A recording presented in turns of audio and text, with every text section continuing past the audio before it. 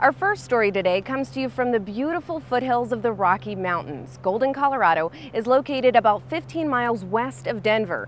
The Colorado School of Mines opened here in 1874 with a focus on the gold and silver industries. Today, there are about 3,300 undergrads here, and the Ore Diggers' 18 athletic teams compete in NCAA Division II. The school's mission has grown way beyond gold and silver mining, but how about this for staying in touch with your roots? Today's graduates are still still awarded a diploma made out of sterling silver. Another tradition is that mountainside M on this Mount Zion that you see right behind me. It was first displayed 101 years ago. Today's freshmen carry a 10 pound rock up the hill, paint it white, and leave it as part of the M until they're invited back as graduates to get their rock. The M was first illuminated in 1931 and last year they went green when the light bulbs were replaced with environmentally friendly LEDs. Speaking of shining lights, David Pesek plays quarterback for the Ore Diggers. Last season, he led the Rocky Mountain Athletic Conference in total offense with 244 yards a game and was first team all conference. This year, he started out being honored as the conference preseason offensive player of the year. But David's outstanding work on the football field is only part of his story. Another side was on display in the summer of 2008 in the refugee camp of Barikab in the mountains of Afghanistan. Afghanistan. I went with a team of guys from my church and uh, we were able to help out a small community just north of Kabul. We helped build a school and a clinic when we were there for the seven days. We um, just kept building relationships with the people. When David approached me about the uh, trip to Afghanistan, I was pretty nervous about it, and I don't think he knew exactly what he was getting into, and once he got over there, he realized how serious the situation was. When we were driving into the community, you could, you could just see the red rocks on the side of the road, and that meant there had been landmines found there. So you'd stay away from the red rocks. We got to go to the Air Force Base, the Army base over there. So that was a really awesome experience to see uh, some of our men and women here serving overseas.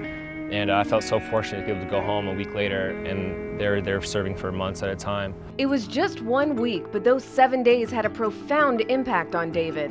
The engineering major with a 3.0 GPA at one of the toughest schools in America called an audible. I was able to with some doctors uh, in some small villages outside of Kabul and before then, I really had no desire to go into medicine. But after being hands-on with patients in Afghanistan and working with doctors, it really gave me um, sense of accomplishment and seeing that I could really help a lot of people in the world becoming a doctor. Calling an audible is nothing new for the School of Mines quarterback. He is a leader. One thing I noticed about him is he can make changes on the field. Uh, the defense is giving us one coverage, something we didn't expect.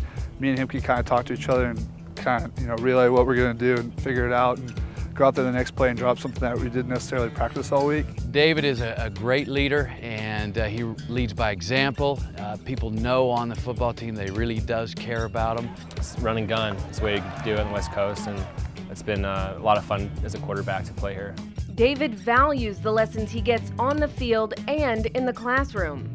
To balance the workload between uh, school and football is definitely tough but I was able to uh, utilize different school resources to study and all the teammates would get together Monday, Tuesday, Wednesday night to study for our upcoming test on Thursday and road trips on the bus, we were doing homework all the time. Football teaches you everything on and off the field. Um, with school, with your family, everything, football can be related.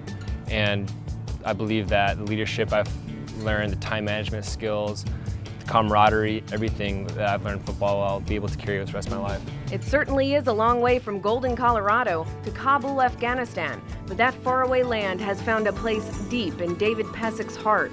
It's hard to realize sometimes that here in Golden, Colorado is the same world as Kabul, Afghanistan. And the opportunity that I have to succeed as a person and some of the opportunities that some of the children over there have is just such a big difference. I really had no idea what Afghanistan was about, what the people were like, um, I hardly even knew what language I spoke. But when I got there, I fell in love with the country, fell in love with the people, and realized that um, you know there's people out there who uh, need help, and even though they're surrounded by wars, uh, they like Americans, and they were so thankful for me to be over there. And uh, it's really there's a special place in my heart for Afghanistan, and for the people of Kabul. Thanks, David, and good luck this season. And while David sits in the Miners' locker room at halftime, the stadium crowd is entertained by one of the more unusual marching bands in America. The Miners Marching Band performs in red and black plaid flannel shirts, hiking boots, and hard hats. On campus, we'll be right back.